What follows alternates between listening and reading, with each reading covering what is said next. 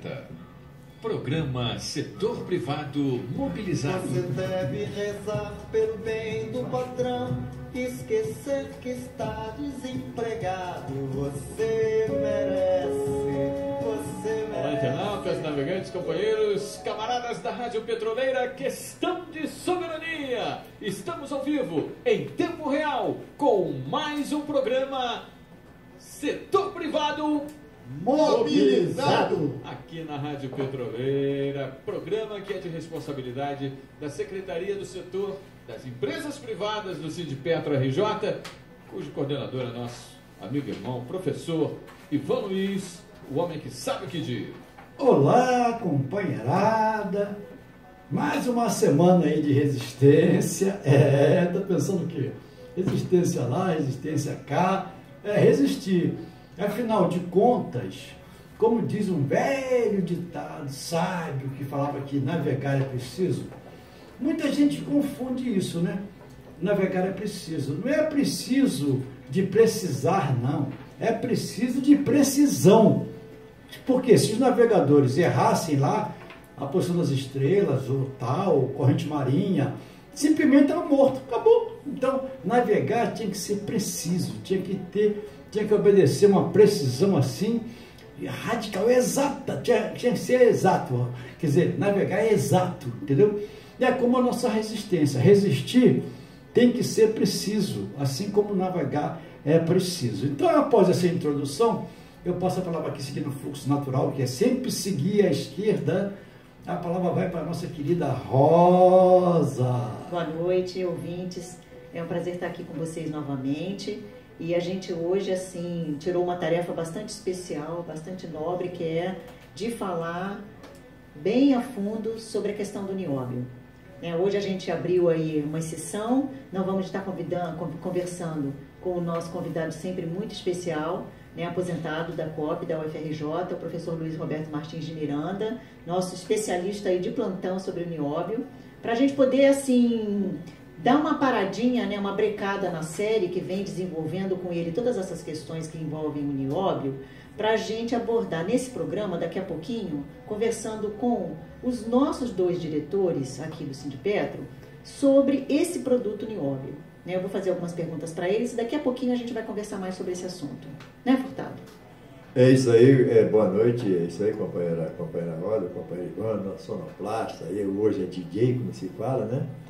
E, evidentemente, essa discussão é super interessante. E também né, a situação hoje que nós atravessamos. E eu, às vezes, eu, eu fico assim, não sei se é pensativo, mas com determinadas é, situações que o próprio companheiro Ivan, ele sempre, nas suas pesquisas, que são super importantes, ele sempre traz um fato novo, né? E esse fato do, do nióbio é uma coisa diferenciada. Então, o que a gente é, hoje questiona, né, companheiro Rosa, é a situação pela que passa não só o trabalhador, de uma certa forma. Hoje eu estava lendo nos jornais é, uma empresa que está há 140, há 114 anos no mercado, está atendendo a fechar as portas e já, já houve também uma papelaria famosa que fechou as portas. Isso, de uma certa forma, nos atinge, porque desemprego em massa, né? hoje nós temos aí um mundo em torno de 14 milhões de pessoas, que a gente, se você imaginar, é mais do que provavelmente a, a, população do estado de São Paulo, que me parece que é o estado mais populoso do Brasil. Né? Então, isso faz com que é, nós é, tenhamos conhecimento, fazemos a leitura de jornais de certas doenças que estão aparecendo aí em função dessa situação extremamente complicada e que é o nosso dia a dia, né? que é o nosso dia a dia, que infelizmente a gente tem que conviver com isso. Companheiro irmão. Não, é, e ela falou, falou no nióbio, e o nióbio hoje é uma questão inesgotável, né? Inesgotável. Isso aí tem assunto para N programas, né, Rosa? Sim. Então, é, eu queria abordar contigo assim uma questão primeira sobre o nióbio, que a gente conversando assim com várias pessoas, até depois de, do programa de você ter trazido esse assunto em pauta, né, que foram vocês aqui do setor privado que trouxeram esse assunto para a gente poder debater mais a fundo aqui na Rádio Petroleira, visto que ele é um primo riquíssimo do, pet do petróleo, né, e que a gente não fala muito em lugar nenhum, a gente não vê a imprensa falando dele, a gente não vê negócios, a gente não vê a economia, a gente não vê ele em pauta nos jornais, né, então é uma riqueza assim praticamente secreta, uma coisa escondida. Então eu queria é, fazer uma primeira pergunta assim para você, Ivan, que era para nossos ouvintes tirarem assim as dúvidas que eles tiverem. Queria até abrir aqui o nosso canal de comunicação direto da rádio, que é o radiopetroleira@gmail.com, para quem tiver né, interesse em estar participando com sugestões, opiniões e perguntas também sobre essa questão. Queria que você falasse assim, especificamente sobre essa riqueza, né? O que, que é o nióbio e o que, que ele pode trazer para a população brasileira caso o Brasil explorasse ele com fins sociais. Não, e é importante frisar, você deu o e-mail da rádio, né? É bom também passar o telefone, que é o Sim. 21 25163742, tá certo? Certo. Isso é fundamental. E lembrar a companheirada que esse programa aqui é retransmitido toda quarta-feira, às 3 horas da manhã, depois ao meio-dia e depois às 17 horas. Sim. E fica disponível Sim, ele. Qualquer hora que edita, quiser. Editado, bonitinho fica disponível no, no site www.radiopetroleira.org.br e na abazinha setor privado mobilizado. Esse é editado. O não editado fica através de vídeo no site professorivanluiz.com.br na janelinha Rádio Petroleira. É, lembrando então, aí, tá lá, né? né? lembrando aí que a gente está, essa nova diretoria, desde junho, né, que tomou posse, está trazendo aí um novo um projeto de política de comunicações para o Sindipetra RJ e a qualquer momento, talvez ainda essa semana, né, queria que os, os, ouvintes ficassem aí ligados, que a gente deve estar tá fazendo parte do portal do Sindipetra RJ. Você vai ter que entrar no sindipetrarj.org.br e aí lá você vai encontrar a nossa rádio petroleira junto com a TV Petroleira, com todos os, setores do sindicato disponíveis para você poder curtir aí essa página. É, como dizia o grande Belchior, o novo sempre vem, né? Quando você fala do nióbio, então, Rosa, nióbio, eu não sou nenhum especialista, nós estamos aqui pesquisando, buscando informações, né? E essas são informações públicas, estão na internet, por aí e tal.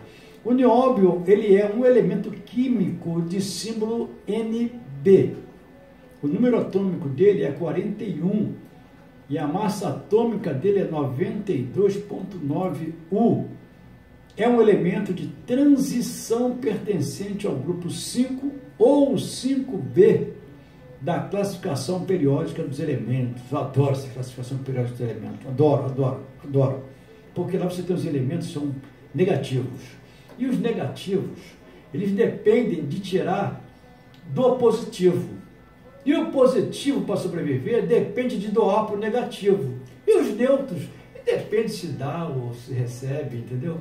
Então essa tabela periódica ela é fantástica. É muito muito aplicada na sociedade. Né? Pois é, isso que eu ia comentar. Tomam, o ser humano podia ter se, se basear nele. Né? É, porque uns tomam, outros dão, outros dão e recebem, né? E, e aí vai aí o mundo girando.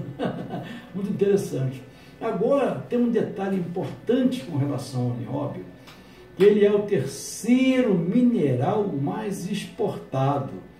E o que é mais grave com relação ao nióbio, Rosa, é que o nióbio poderia ser a nossa, poderia não, pode ser a nossa grande redenção, a grande redenção brasileira.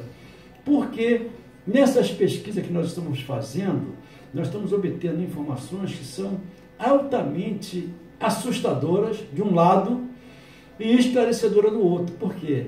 A cada pesquisa que nós fazemos, nós ficamos com mais raiva de Brasília, porque Brasília é está cada vez mais deixando de ser DF para ser DC, para ser Distrito de Colômbia. Cada dia que passa é mais.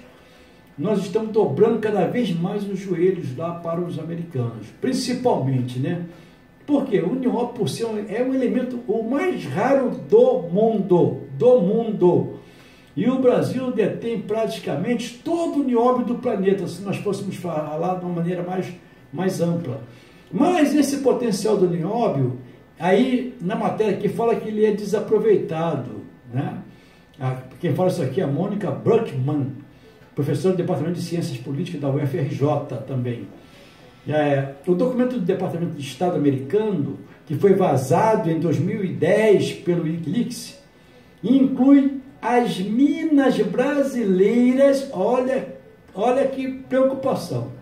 O documento do Departamento de Estado americano, vazado em 2010 pelo Wikileaks, então, Wikileaks, inclui as minas brasileiras na lista de locais considerados como estratégico para a sobrevivência dos Estados Unidos. Em 2011, um grupo de companhias chinesas, japonesas e sul-coreanas adquiriram por 4 bilhões de dólares 30% do capital da brasileira CBMM, que eu falo fora CBMM, que é a Companhia Brasileira de Mineração e Metalurgia, né? Nióbio, nióbio então. Aí tem aqui uma chamada: ladrões lesam o Brasil e beneficiam grandes potências. Então, é que eu estou falando isso aqui, é algo assim esclarecedor, mas assustador, porque o Brasil, ali possuindo a maior reserva de nióbio do mundo, com cerca de 98% de toda a produção mundial, e o governo, e a gente não pode falar do nosso governo, o governo é o governo deles lá, dos malditos, dos cruéis, e ele exporta a preço de banana para as maiores nações armamentistas do mundo. Nós estamos fomentando a indústria armamentista do mundo. E aí vem aquela perguntinha assim: você sabia que a ressonância magnética é feita com nióbio? Olha só. Ressonância magnética. Pouquíssimos tá têm direito a fazê-la, né, inclusive. E outro, outro detalhe: todos os ônibus espaciais dos Estados Unidos, todos, todos possuem nióbio. Todos, todos. Coisa que tá também certo? nós não temos. Então, aí você vê, o nióbio, então, ele é um metal tão raro, mas tão raro, que ele existe apenas em três minas do mundo inteiro. Em Araxá, Minas Gerais, lá em Catalão, Goiânia, e no Canadá, que tem 2% restante de toda a reserva mundial desse elemento químico. Com o nióbio, com o nióbio, a CMN, que é uma das mineradoras, uma das mineradoras que bancou o projeto Fome Zero, olha só, tá certo? E que foi precursor do Bolsa Família, que por sua vez foi, foi na, na verdade, criado pelo ex-presidente FHC, que eu não vou falar o nome dele, não precisa, né? né? Que ferrou o Brasil bonito.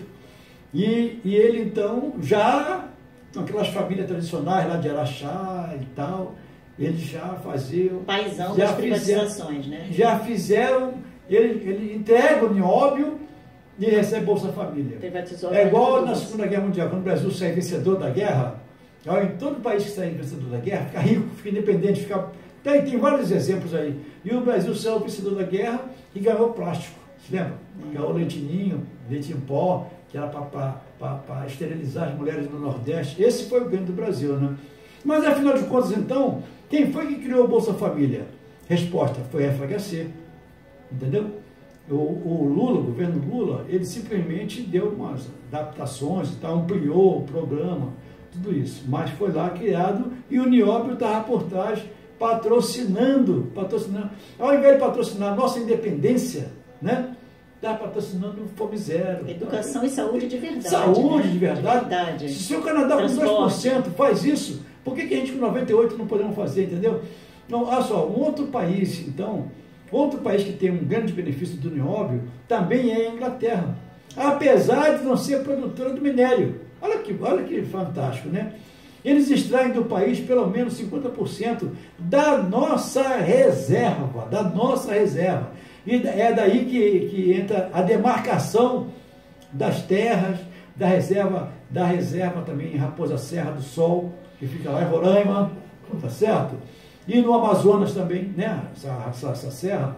E lá está, então, a maior reserva de nióbio do planeta. Em São Gabriel da Cachoeira, por exemplo, fica a, a reserva, essa reserva tá, que fica bem perto do, da Guiana inglesa, onde sai todo o contrabando de nióbio para abastecer todo o armamento do exército britânico. Olha, olha, olha a nossa incapacidade. Não é incapacidade que a gente sabe isso aí. Se a gente tem isso aqui, é porque nós temos capacidade de saber, né? Outro detalhe importante é que todo mundo falou de nióbio, já comentei isso aqui, foram assassinados. E nós estamos levantando isso aqui na Rádio Petroleira, TV Petroleira, no mundo petroleiro. E eu quero que a gente faça uma faixa que se criado a Minerobras. Não é ideia minha, não. Sabe, está lá, João Goulart, está lá atrás, né? Getúlio Vargas, está lá, tá, tá, tá lá. Nós temos que criar uma empresa chamada Minerobras. E aproveitando esse gancho aqui de eu falar da Minerobras, mas como é que fica o trabalhador?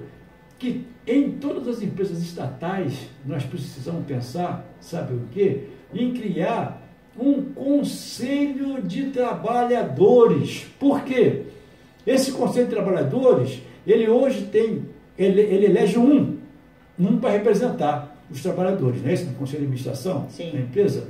E aí? O que, que esse um faz? O que, que faz? Nada. Na realidade, ele não pode fazer. Mas se nós começarmos a trabalhar a ideia de nós criarmos um conselho de trabalhadores, até mesmo, não digo nem com poder deliberativo, não. No mínimo, no mínimo, com poder consultivo. Que seja consultado Que seja. pela direção da Petrobras, pela direção da Eletrobras, pela direção de todas as práticas que, existem e que possam surgir. Entendeu? Nós criamos um conselho de trabalhadores para que possam ser ouvidos diretamente. Entendeu? E, o- e esse conselho se reunir no auditório da Petrobras, no Se nós auditório da empresa. tivéssemos esse conselho hoje, a gente saberia que as empresas não estão falidas, por exemplo. Exatamente, Mas que querem exatamente. privatizar. Porque o Né? trabalhador, O trabalhador ia estar defendendo Ah, os nossos direitos. tendo informações diretas, sem ficar se, se iludindo, teria como ter esse tipo de informação. Mas só para amenizar um pouquinho, o Furtado, nas pesquisas dele, ele é danado. Ele é danado. Sabe o que, sabe o que foi que o Furtado achou? Ele achou uma tal, ele achou, olha o que foi que o Furtado achou, hein? Furtado achou uma tal de Elvira Pagã. É brincadeira? Que vai, o Furtado, que ideia é essa, rapaz, de Elvira Pagã? Quem é? Ele acha a Elvira Pagã, que foi o quê? Quem foi a Elvira, Pa- Elvira Pagã, Furtado? Além, além de, de ser uma grande artista, né? Atriz, né, vedete. Atriz, vedete. Compositora. E, compositora. E ela fez história, né? Elvira Pagano fez história, filmou, fez algum filme. É. Se não me, se não me, se não me falha a memória, ela teve, ela, ela participou do O Cangaceiro, aquela, aquele filme que foi até premiado, né? Se não me falha a memória. Então é uma pessoa de, com referência. Com referência. Agora, a companheira Ivan, companheira Ivan, companheira Rosa, também, nesse mesmo dia, uma pessoa que também fez história, né? Nesse mesmo dia. É, né? Ribamar, Ribamar, vou logo Ribamar. falando. É, tá certo. Agora comenta, Ivan. Agora é contigo, né? Ribamar, Ribamar foi uma figura que realmente também nos, nos deu grandes prazeres na vida. Mas vem outro, vem outros aqui, olha só. No dia 7, então, é, que passou por nós, outra, outra ideia do Furtado, vou ter que ser rápido aqui. Outra ideia do Furtado, olha só, nunca ouvi falar, hein? Nunca ouvi falar. No dia 7, Furtado, nasceu no dia 7 de setembro de, de 1947 e morreu em março de 2012. Não foi, Furtado? Foi, foi o. E, inclusive, ele era baiano, né? Era baiano, rapaz. Ede, Edelaudo Gentil, né? É, nós temos que reviver essas, É, essas é, figuras, não temos? Temos que reviver, né? É, Foi Geraldo Gentil. Salvador, Sim. 7 de setembro de 1947. Cantor e compositor brasileiro, que ninguém lembra, ninguém fala, mas nós, da Rádio Petroleira, vamos certeza. lá É porque a gente fazer. sabe que cultura não tem vez, né? Não, então é. aqui, aqui tem voz, pelo menos. É verdade, e homenagear, né? Tem que homenagear sim. No- nesse dia 7 também nós tivemos um canhoto. Olha, rapaz, olha o som do canhoto. Tá vendo que maravilha? Canhoto tocava, tocava bonito, né, Furtado? E é e o gozado, é, gozado não, interessante que o, o- o artista, quando é artista, é natural, né? Ele tocava o violão normalmente, mesmo sendo canhoto, não trocou as cordas. Isso é uma loucura, Que é né? diferente, né? Ele não trocou as cordas mesmo sendo canhoto. Então, Deve ter essa mais um por aí. E agora canhoto, olha o nome dele, Furtado. Canhoto. Viu o nome dele aí? É, é, Américo Jacomino. Américo Jacomino. Olha Rosa. isso. Agora, Rosa, depois do Américo Jacomino, famoso garoto, vem quem? Ah, vem Martinalha, vem Miltinho e vem Morris Albert. Isso, também. Esse Furtado também. Olha o som do da Morizal. Já, tá juventude, percebendo?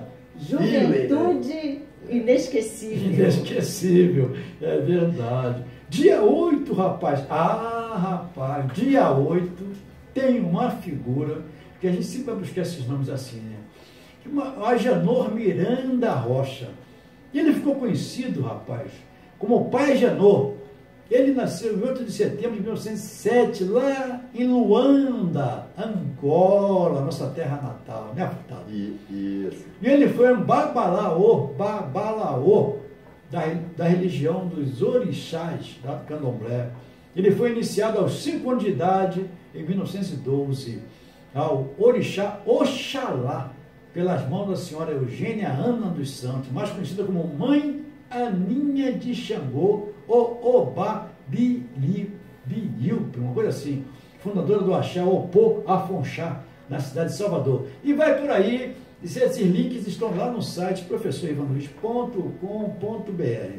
Mas, Furtado, depois então do pai Janô, veio uma pessoa também conhecida, não é isso? Você É, gosta uma pessoa, caramba, é, veio uma pessoa conhecida, inclusive fez, fez história, É. fez história, que fez uma, uma dupla com o Jaralac, E o nome dele? é Jaralac Ratinho. A dupla Jaralac e Ratinho. Esse aniversário aí é, é do Ratinho, né? Do Esse- É do Ratinho, esse- é. Ratinho. E o Ratinho chamava-se Severino Rangel de Carvalho. É brincadeira. Mas, Rosa, depois do Jaralac e Ratinho, vem uma pessoa que eu sei que você gosta. Eu gosto. Gosto de Ana Carolina. Olha o som, olha o som. O DJ escolheu a música bonita, né, gente? Veia, namora não.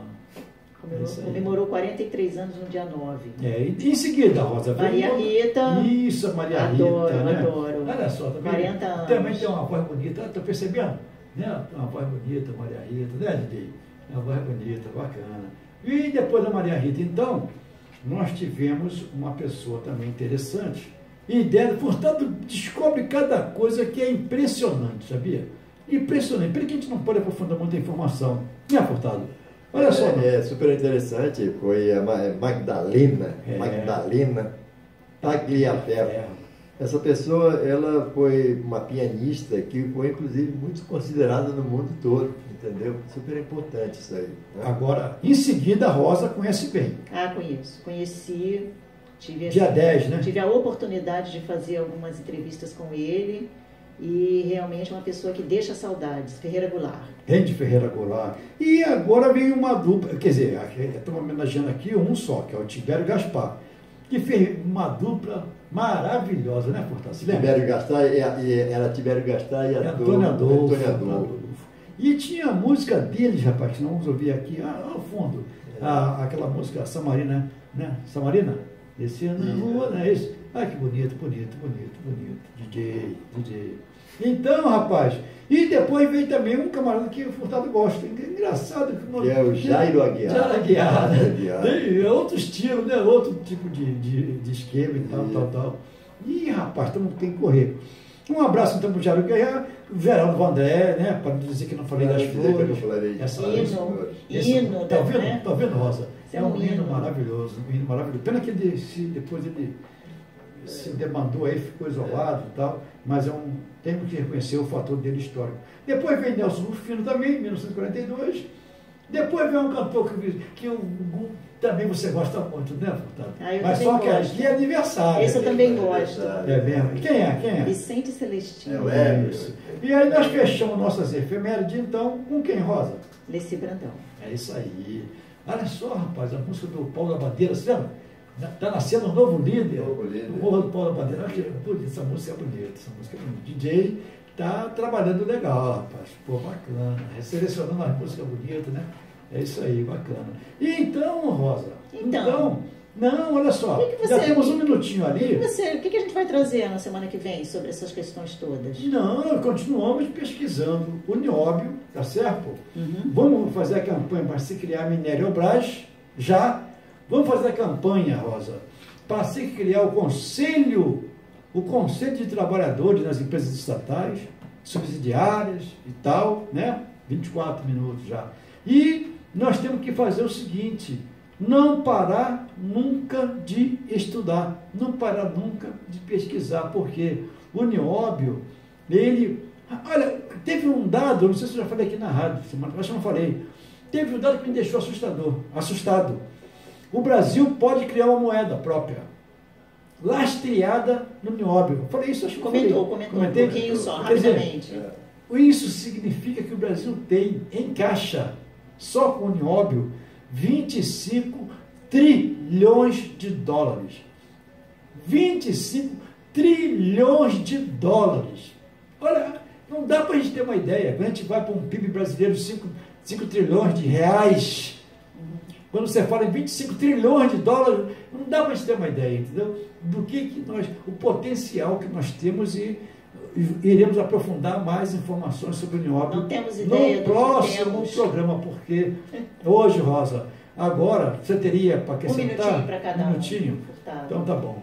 É, olha só, é, o, o companheiro Ivan, ele, até esquece, ele fica tão emocionado com esse problema do nióbio. É, E dizer que o nosso programa é, de, é o número 264, né? Verdade, Furtado. E que é, do ano é o 33 É, programa. verdade. Importante. Bem Agora, uma coisa que você me chamou bastante atenção, até a coisa também da roda. Hoje, numa assembleia que nós tivemos, né? Sei, sei. É, ali naquele momento, uma, a companheira falou: Poxa, olha, é necessário que se faça uma comissão de base. Aqui na empresa já houve, por andar, por andar, comissão de base específica, né? E é necessário que a gente- invista nisso aí, né? Porque o conselho de representantes tem um determinado É um poder. passo, né? É um passo. E é necessário isso, companheira. Rosa. É, exatamente. Exatamente. Quando eu- ele falou do Conselho de Trabalhadores, eu ia exatamente falar isso. Não vou nem mais falar porque você já falou, Furtado. Então eu vou falar outra coisa. É, quando você fala aí que essa questão né, de estar construindo, né, do que a gente sabe, essa questão do nióbio, do que, que ele- do que poderíamos ter com essa questão dos trilhões de dólares e tudo mais, é triste, mas nós sabemos o que nós não temos. Então o brasileiro sabe bem o que, que ele não tem. E ele sabe bem também a riqueza que tem, sim. Nós não sabemos a dimensão, mas sabemos que temos a riqueza no país, que é um Brasil é um país rico. E isso é mundialmente sabido.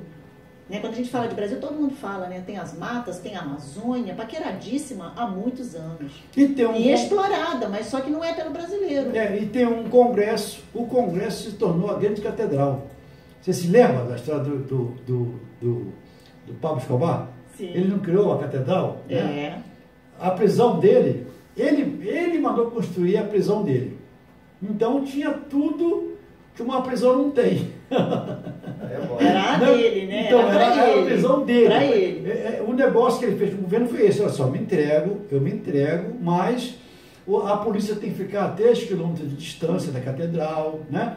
Eu vai entrar na catedral o que eu Tá quiser. me lembrando do Joel. Eu quiser. Exato. O Joel é uma figura. Nós vamos fazer um é? comentário. Eu te Como- entrego X, mas eu quero 3. como o Joel foi construído, ele foi construído para isso, para detonar mesmo. Ele tem- ele- vamos fazer depois um Também, programa para comentar sobre ser, isso. Ele foi construído, foi construído para isso, entendeu? Mas voltando para a catedral, então Brasília se tornou. Você não tem a catedral de Brasília? Não tem? Só que a catedral de Brasília é lato senso. Brasília é a grande catedral. Lembrando de Pablo Escobar, entendeu? Então ele financiava o político, ele comprava polícia, ele comprava governo, comprava tudo. Ele comprou a Colômbia toda e depois começou a comprar os Estados Unidos, foi quando incomodou mais, entendeu? É só isso. Então, companheirada, até a próxima terça-feira. Aí Furtado vai dizer, tem que ter uma permissão e uma permissão especial para nós podermos voltar terça-feira. Você sabe disso? Não estou sabendo, não. Tem que ter uma permissão especial. Furtado, que, qual é essa permissão especial, Furtado? Lógico, evidente, se assim nos permitiu o grande arquiteto do universo. Sendo assim, estamos chegando ao final de mais um programa Setor Privado Mobilizado. aqui na Rádio Petroleira, questão de soberania. Sonato Candal. Estaremos de volta na próxima terça-feira, a partir das 19 horas e 30 minutos. Aqui, música, informação e prestação de serviços. Muito obrigado pela sua audiência e até o próximo programa. Até lá! Rádio Petroleira, a voz do Sindipetro RJ, apresentou programa Setor Privado Mobilizado. Você deve rezar pelo bem do patrão, esquecer que está desempregado. Você merece,